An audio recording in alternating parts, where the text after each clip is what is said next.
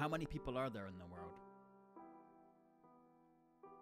I've spent the past four years trying my best to attract, entertain, and hold the attention of 0.0000001%.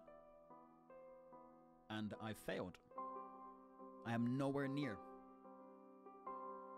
Sometimes it can be really difficult to um to actually take a step back and uh, actually look at the positives that uh, we as streamers, as content creators,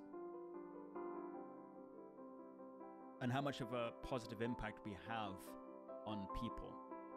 It might feel like sometimes your stream is a uh, is a small drop in the ocean, and it's because it is.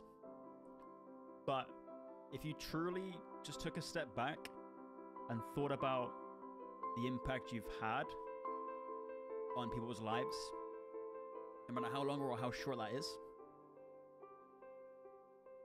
I think it's amazing how much influence and positivity we can spread when you realize you are just a small drop in the ocean. Imagine what you could do with time, with effort.